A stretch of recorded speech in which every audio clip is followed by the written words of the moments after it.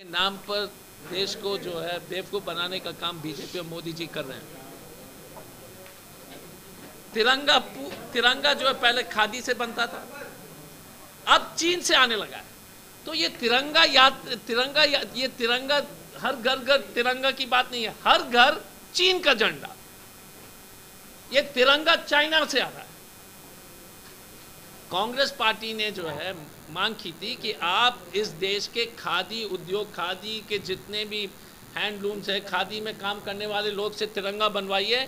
खादी का जो है, तिरंगा दे दीजिए ताकि इस देश के लोगों ने, मोदी जी को, क्योंकि चीन से ज़्यादा प्रेम है। तो जितने भी जो है नब्बे प्रतिशत झंडा चीन से आ रहे हैं तो इस देश के जो भाजपा का जो झंडा होगा, वो तिरंगा है। दूसरा, अभी तक आरएसएस ने तिरंगा नहीं फहराया। लेकिन आपको बोल रहे फहराने के लिए। अब देख लीजिए ढोंगी राष्ट्रवादी को।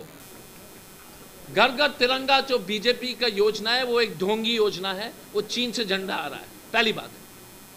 तो आप चाहते हो कि देश के जो है स्वतंत्र संग्राम में बहुत बड़ा योगदान रहा है? इसमें देश के बहुत सारे लोग के योगदान है। यात्रा होगा, तिरंगा यात्रा। कांग्रेस के द्वारा तिरंगा यात्रा पिछहत्तर किलोमीटर का होगा। जमशेदपुर में सभी विधानसभा को टच करते हुए पाँच दिन का कार्यक्रम है। हम पहले दिन साक्षी से सॉरी बिरसा नगर से साक्षी तक चलेंगे। उसके बाद मुझे त्रिपुरा जाने बाकी लोग आगे बढ़ते हैं। पूरा जिला को कवर करेंगे। पूरा देश भर में हो रहा है।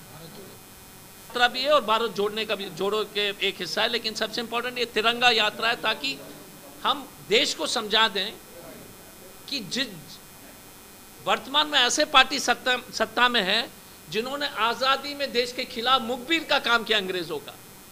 अब सत्तर, सत्रह प्रतिशत से ज़्यादा नौयुवक जो है इस देश में बेरोजगार है। लेकिन आधे नौयुवक जो है, वो नौकरी खोजना बंद कर दिए।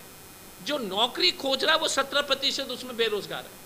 लेकिन पचास प्रतिशत नौयुवक ने नौकरी खोजना बंद कर दिया। सबसे ज़्यादा बेरोजगारी इस देश में है। लोग गरीब हो गए।